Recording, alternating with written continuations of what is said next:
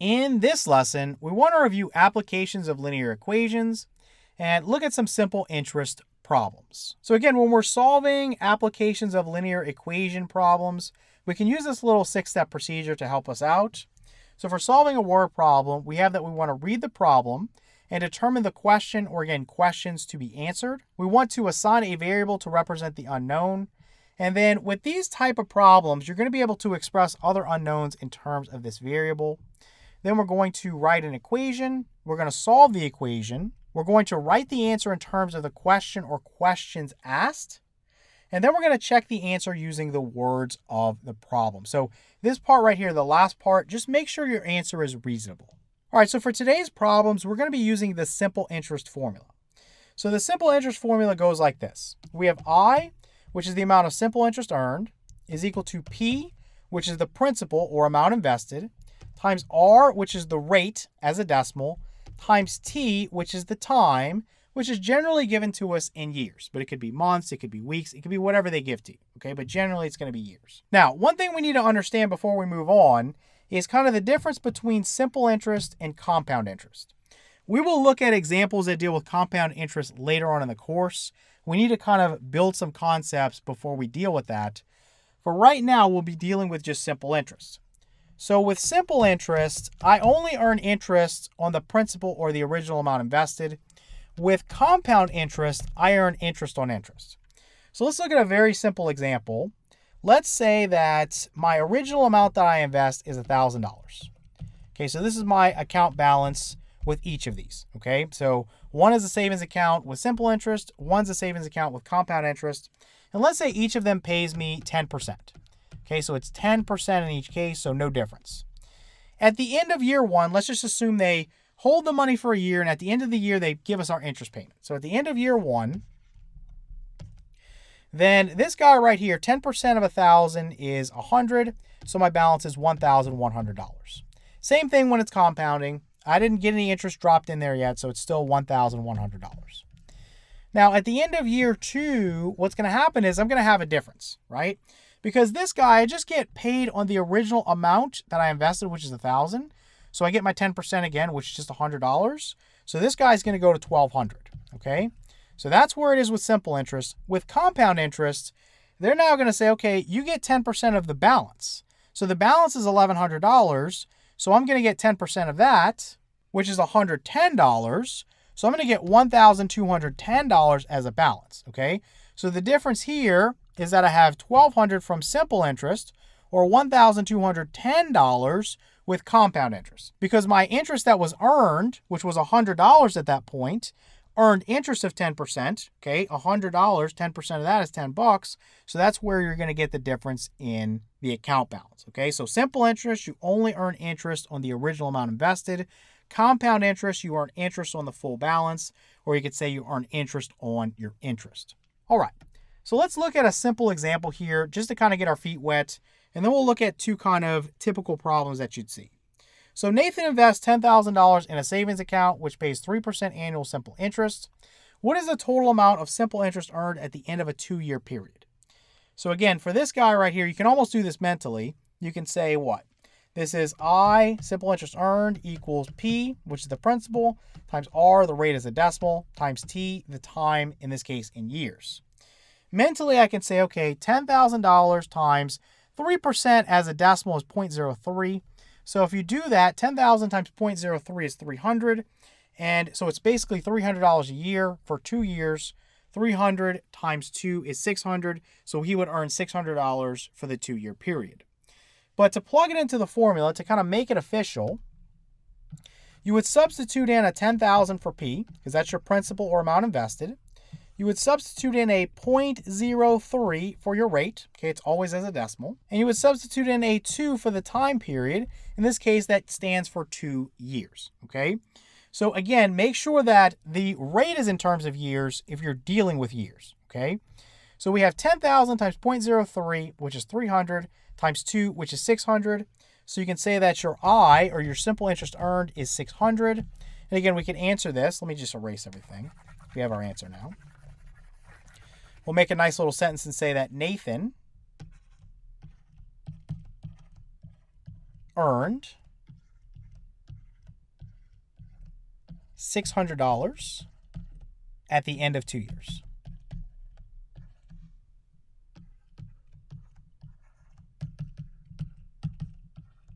Okay, and lots of different sentences that you can construct to answer this.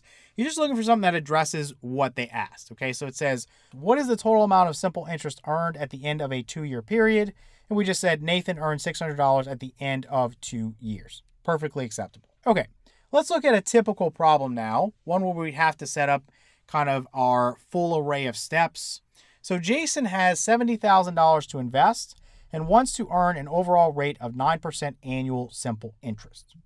So he has $70,000 to invest and he wants to earn an overall rate of 9% annual simple interest. Okay, let's go down and look at the next part.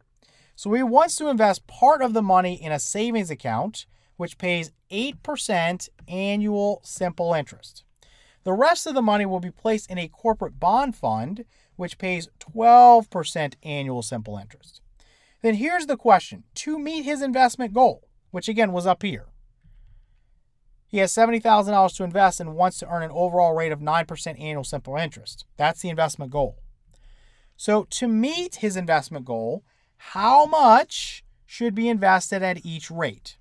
So, to earn 9% on $70,000, how much should he put in the savings account and how much should he put in the corporate bond fund? All right. So we've read the problem, we understand what we need to do. Let's let a variable like x be equal to the amount he invests in one of these guys. Doesn't matter which one you choose. You can say x is the amount he invests in the savings account, or you can say x is the amount he invests in the corporate bond fund. It makes no difference. So I'm going to come down here and say we're going to let x be equal to the amount invested in the bond fund. Let me put the in the bond fund. Okay.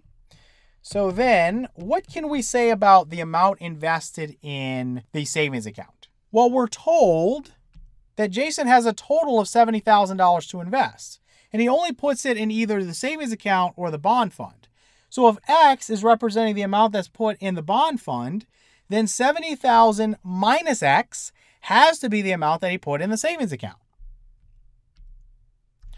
So 70,000, which is the total amount, minus X, which is the amount invested in the bond fund, is going to be equal to the amount invested in the savings account. Okay, nice and simple. Let me make that better. Okay, so now that we have kind of our variable set up and the other unknown is expressed in terms of that variable, we're going to move into our next step, which is to basically set up an equation. To do that, I'm going to make a little table. A lot of times I think it's a little bit helpful if you're unfamiliar with solving word problems to set up a table. Some people don't do it. They feel like it's a waste of time, but it can be helpful. So let's just go ahead and do it. So we're going to write our simple interest formula up here on the top. So I, the simple interest earned, is equal to P, the principal or amount invested, times R, the rate is a decimal, times T, the time. Then for this guy right here, this is going to be the investments. So I'll just put I and V for investments. So you have the savings account and you have the corporate bond fund. So I'll just kind of initial those. So we know that for the amount invested or the principal, the bond fund we said was X. So let's put an X here. For the savings account, we said it was 70,000 minus X. Now, the rate is given to us in the problem. It says the savings account pays 8% annual simple interest, and it says the corporate bond fund pays 12% annual simple interest. So the savings account, again, is 8% or 0.08 as a decimal. The bond fund is 12% or 0.12 as a decimal. Now, what about the time? Well, basically, we're dealing with a scenario where the time is just going to be 1.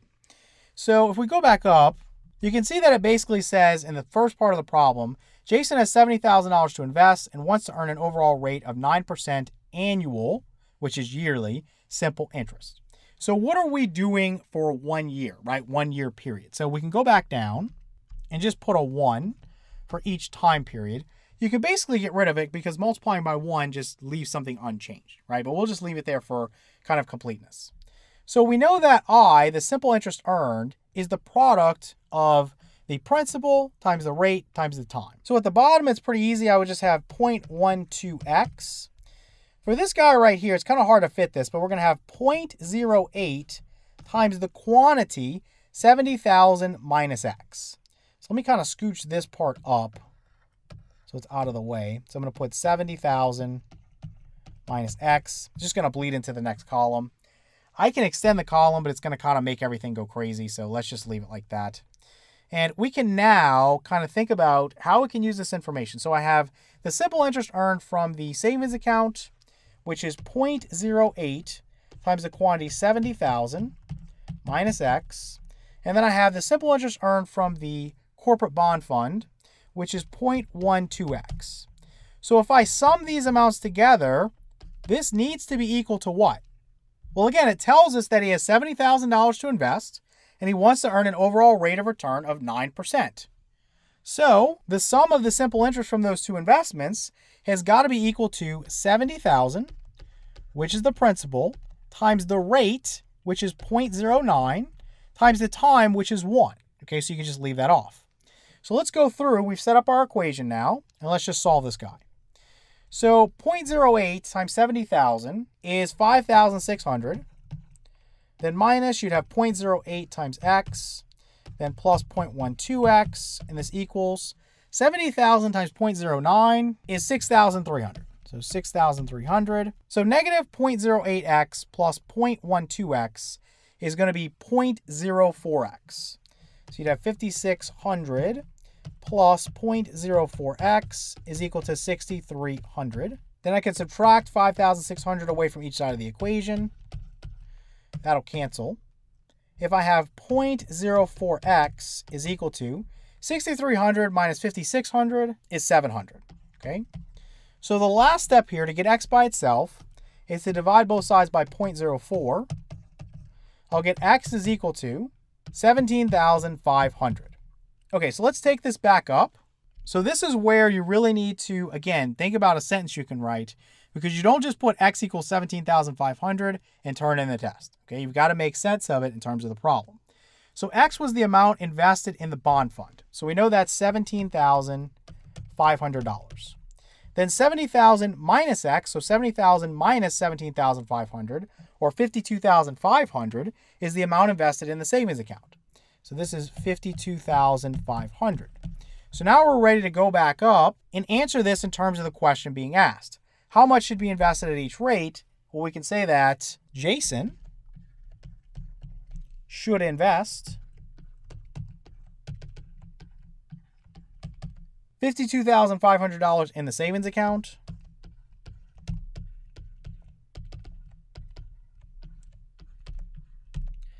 And $17,500 in the bond fund. Okay. So Jason should invest $52,500 in the savings account and $17,500 in the bond fund. Okay. So how can we check this to make sure that it's accurate? Well, again, if we go back to the beginning of the problem, Jason has $70,000 to invest. So let's check that first. Is the amount that he put in the bond fund plus the amount that he put in the savings account equal to 70,000? 52,500 plus 17,500 does equal 70,000. So that part is a check. So this is good to go. Now he wants to earn an overall rate of return of 9% annual simple interest. So 70,000 earning 9% annual simple interest would mean that he's earning $6,300 a year in annual simple interest. Okay, so let's check that against what he's going to earn with the two investments. So he's going to earn 8% with the savings account, and he's going to earn 12% with the corporate bond fund. So let's go back up. We, again, we have 6,300 as the amount that he's earning, and we're going to check. So we have 52,500 in the savings account, which is earning 8%. So that would give me $4,200 a year. And then he put 17,500 in the bond fund, which is earning 12%. So that would give him $2,100, okay? So if you sum these two amounts together, the 4,200 he gets from the savings account and the $2,100 he gets from the bond fund, he's going to get the $6,300 he's looking for in annual simple interest. So we can say this problem does check out. And again, Jason should invest $52,500 in the savings account and $17,500 in the bond. All right, let's take a look at one more of these. So Jennifer recently retired and needs $6,000 per year in supplemental income from investments.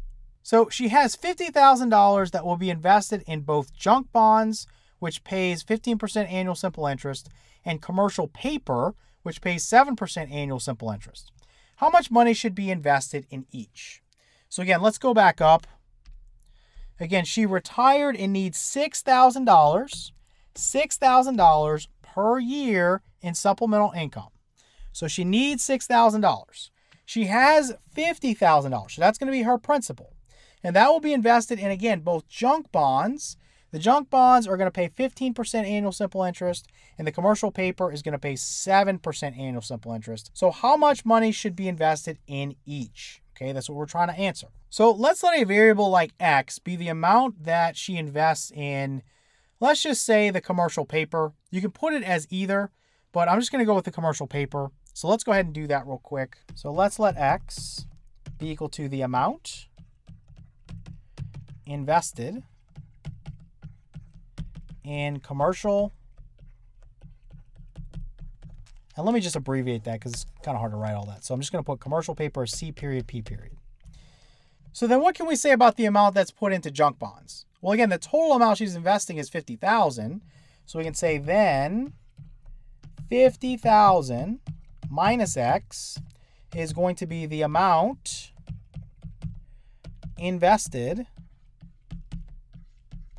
in junk bonds. So I'll put J period B period, okay, for junk bonds. So let's take this information to a table, just like we did in the last example. So for our investments, these are going to go down. You have your junk bonds and you have your commercial paper, okay?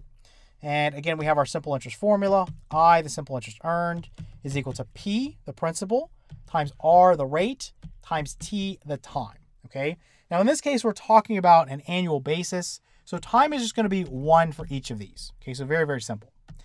For the rate, we know that for the junk bonds, they pay 15%, so 0.15. We know for the commercial paper, it pays 7%, so 0.07. Again, you've always got to express the rate as a decimal.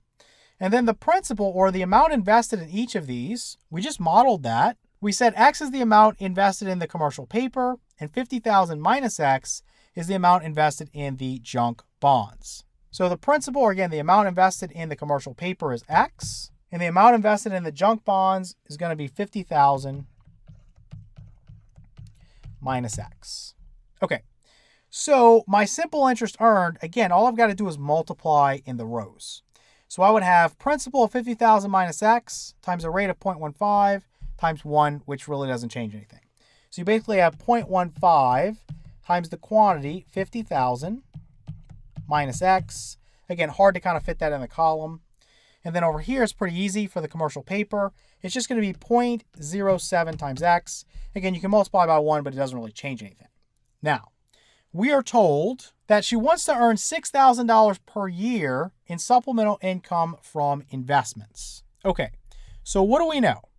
We know that the interest she's going to earn from the junk bonds is 0.15 times the quantity 50,000 minus X. Then if we add that to the interest she's going to earn from the commercial paper, which is 0.07x, this has to be equal to 6,000, okay, because that's what she needs to earn. So let's go ahead and solve this equation. Very, very easy. 0.15 times 50,000 is 7,500.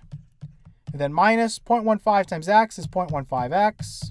Then plus 0.07x, again, is equal to 6,000. If we combine like terms here, you'd end up with negative 0.08x. So 7,500 minus 0.08x is equal to 6,000. I'm going to subtract 7,500 away from each side of the equation. That's going to cancel. You get some room going. So on the left, I'm just going to have my negative 0.08x. On the right, I'm going to have negative 1,500.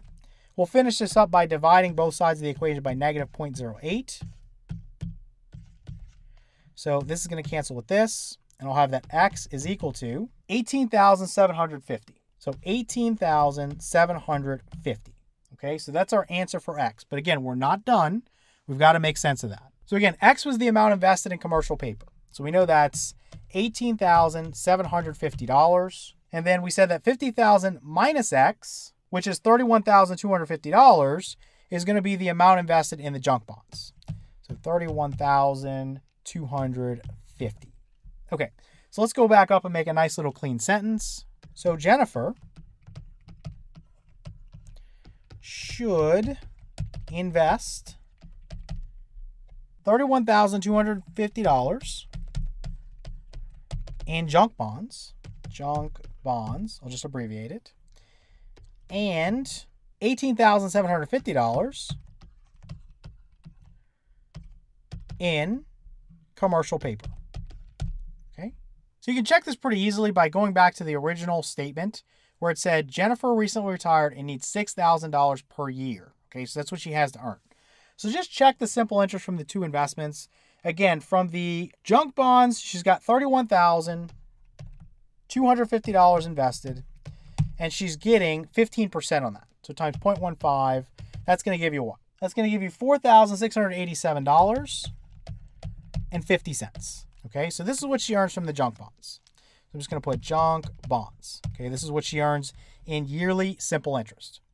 Then from the commercial paper, she's going to earn 7% on 18,750. So if I had 18,750 times 0.07, I would get $1,312.50. So $1,312.50. So all you have to do to check this problem is sum these two amounts together. Does it give you 6,000? The answer to that is yes, right? If I add $4,687.50 to $1,312.50, I will get $6,000. So that does tell me my solution is correct that Jennifer should invest $31,250 in the junk bonds and $18,750 in the commercial paper.